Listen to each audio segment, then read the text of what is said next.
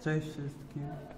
Dziękuję Wam wszystkim za wsparcie, za to, że mnie wspieracie na moim Facebooku, za wszystkie życzenia, za to, że jesteście ze mną.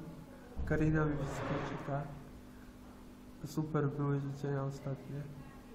A szczególnie dziękuję największemu skurwysynowi, mojemu koledze Różalowi.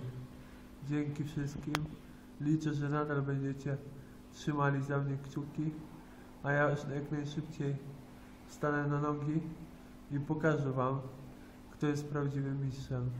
Dzięki Wam wszystkim, cześć.